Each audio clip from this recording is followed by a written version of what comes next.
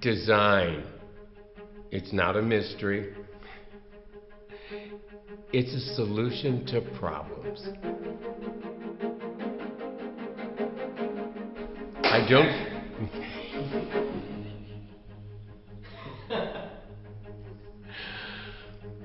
I don't believe in the term good taste. Everybody has their own taste.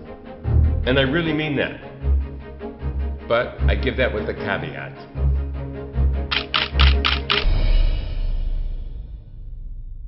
You have to deal with one particular aspect to really sell it.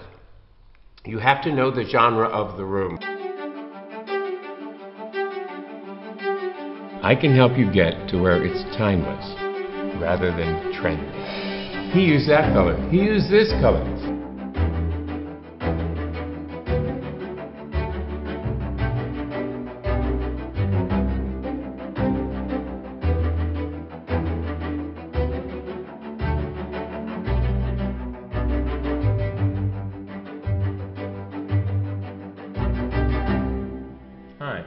I'm John Hutson, and I want to help you do interior design